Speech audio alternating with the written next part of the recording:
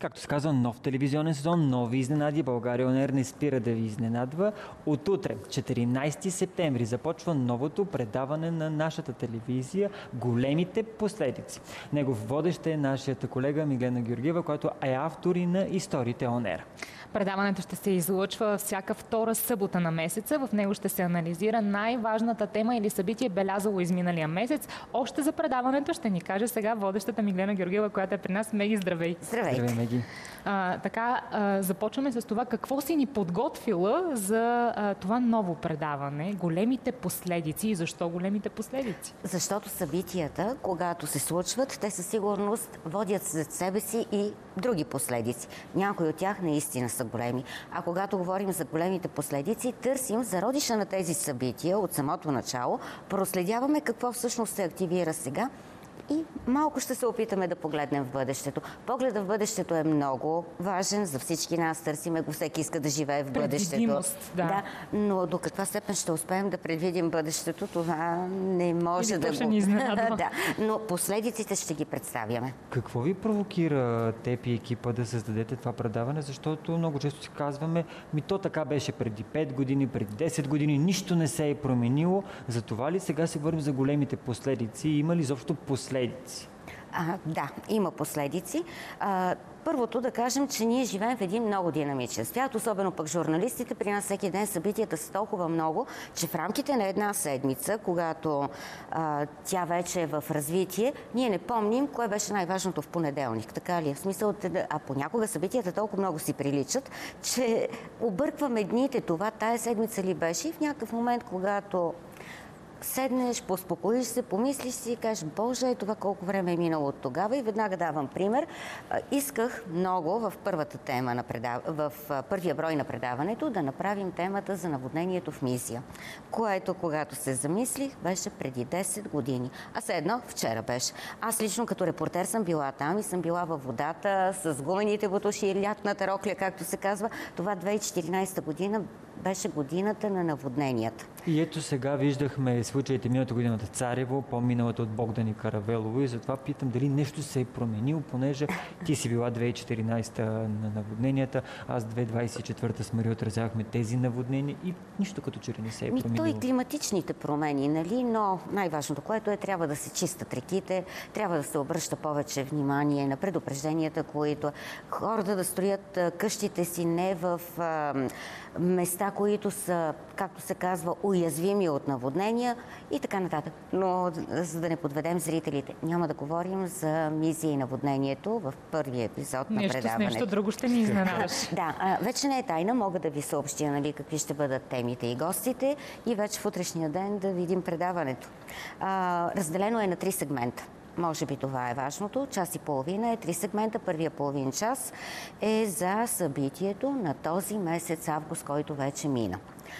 Идеята предаването да се излъчва втората събота на следващия месец, да, а, е за това месеца да е приключил и за да сме направили пълна картина какво всъщност е станало. А не да изберем събитие, което е от август, ама представи си, дойдат извънземните последния, Последния ден, и няма как. То ще е събитието на хилядолетието или въобще на човечеството.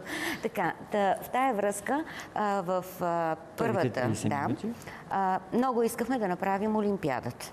Август месец, Олимпийски месец и така нататък. И доста олимпийски медали И за олимпийски България. медали. Обаче някакси в края на месеца турбулентни събития в политиката, горещина, която няма как да бъде избягната. Ма той фотофиниш трябваше и политиката да има, така че така. пак е в контекста на Олимпиадата и А, слалом бърз. Да, а, та, в тая връзка, ако бяхме направили Олимпиада, тя вече е далече. Хората почти са я забравили, не е лошо да се припомни и така нататък, но пък от друга страна трябва да сме и малко актуални към днешна дата. А събитието в политиката, то не се заражда в месец август, има зародиш далеч по-рано и ще продължи и след септември. Та, първата Това тема е първият сегмент. Първият сегмент е дойде ли края на партиите от прехода. Много интересен първи Защо? сегмент с интересни гости, предполагам си подготвила Ами да там. започнем от там. Участник от кръглата маса, Петър Берон. Също така той е и депутат в Седмото Велико Народно събрание. Другите двама участници също са от Седмото Велико Народно събрание. Красимир Премянов от БСП и Красен Станчев, който също е от ОДС тогава, нали? Така че имаме една картинка на първите политици, които са видяли зараждането на тези партии. Могат да говорят и за Доган, но в утрешния ден ще видим. Точно така да остане наистина този гъдел, който да погледнем, но още друго какво ще видим. Така, втората част. Втората част е свързана отново с август, но не в този, тази година. Връщаме се, прехвърляме календара и си харесваме събития от минал август. така, както казах, нали, Мизия беше интересна тема. Сега тук може да има много за и против, кой точно се вълнува, само Мизия ли ще гледа и така нататък. Но, да не се отплесвам повече, става въпрос за следното. Август месец от минала година. Връщаме календара, отново 90-та година. Някак си ще има плавен преход и на 26 август 90-та година са, е големия пожар в партийния дом. Днес Народно събрание. Така, а, 99-та година пък е взривяването на мавзолея. И някак си тези две теми м, ни се видяха близки една с друга и ги обобщихме в една. Много интересни гости. Пак Бойко Станкушев, който е бил един от а, хората, които тогава са журналистите, отразявали пожара. Той ще разкаже от първо лице какво точно се е случило, какво той е видял през своя журналистически поглед. И тук да кажем, че ние, работейки тази професия, със сигурност имаме по-различен поглед върху нещата. Виждаме детайли, които някой може да пропусне. А и от дистанцията на времето нещата вече се променят и погледа на журналиста се променя. Да, но освен Бойко Станкушев, за да имаме историческата нотка, имаме и историк, и той не е случайен, директора на Държавна агенция архиви Михаил Груев, който пък да каже до каква степен тези две събития остават в историята и с какъв архив може да бъдат събрани. И с какво ще завършиш предаването? Трети сегмент? Трети сегмент, а, винаги ще гледаме третия сегмент да бъде най-положителен. Ако в първите два, нали, може да има някакви по-негативни или по-скандални неща, третия сегмент искаме да бъде а, за душата. И за душата измислихме да бъде личност на, годи... на месеца. така, и за личност на месеца трябва човека да е свързан с август месец. Нещо да е направил в този август. Сега, да видим кого си избрала. Ами, то личността на месец август всъщност е световна личност. За съжаление почина. Става въпрос за Ален Делон. Но достатъчно ярък актьор, достатъчно голяма фигура в френското кино и въобще в световното, ако трябва да кажем, да, да посветим този месец август на него и с интересни събеседници, кинокритици, които разбират от френско кино, проучвали са също така и живота на Ален Делон. И големите последици в киното от Да. появата на Лен Деон. Да, на Лен Делон. Ирина Иванова и Владислав Апостолов са събеседници по третата тема. Много интересна палитра и от теми, и от събеседници, които си подготвил, но Меги на мен ми е интересно какво а, за теб е това предизвикателство с новото предаване. Знаем за всеки един журналист а, като нас а, колко а, различно е всяко нещо ново, което започваме и какво, как го приемаш като предизвикателство. А, първо да кажем, историите О. продължават. Да, това беше да следващия ми въпрос. ясно. Следващия ми въпрос беше това. Да, Историите on air продължават. Да, няма да ги спираме. А, те ми дават нали, тази, как да го кажа, творческия поглед върху някои по...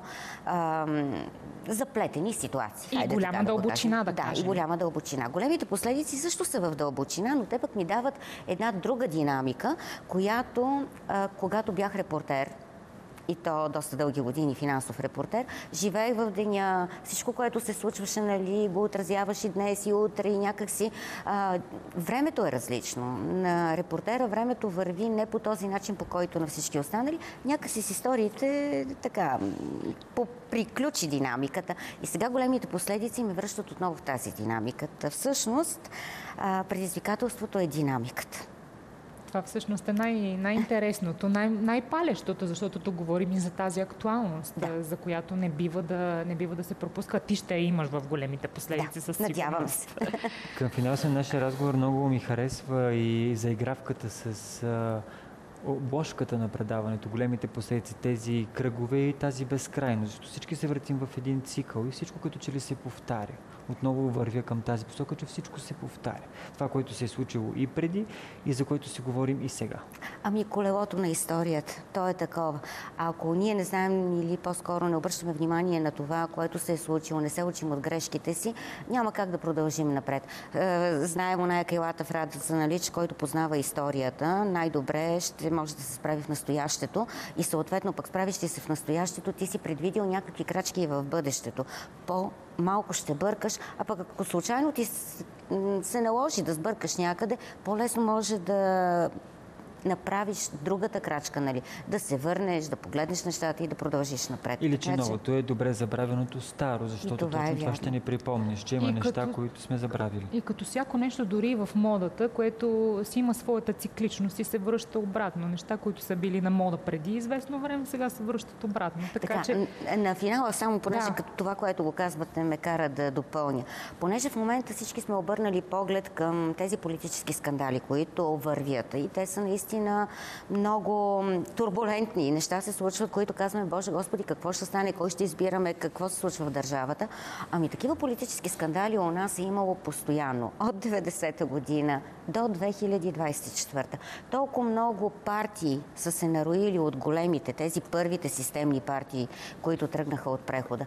А, толкова а, противоречиви са били а, лагерите, които вътре в една политическа организация са воювали, че са стигали до разцепления. След години обаче са се събирали отново. Така че това не са неща, които се случват само днес, и видиш ли ти, такова нещо не е било в България. Имало е. ситуация. Да, а, Меги не казахме само в колко часа. 14 септември, утре, За да го запомнят 14 часа. 14 часа. Всичко Да. е а, така с а, обвързано. Символика Символика има, да.